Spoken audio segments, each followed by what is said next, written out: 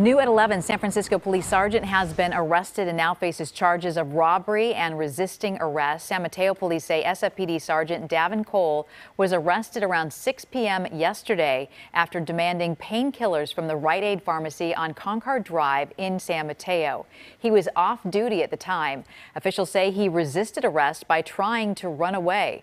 Cole is a 27 year veteran of the San Francisco Police Department. He is now out on bail and is on unpaid leave. Two men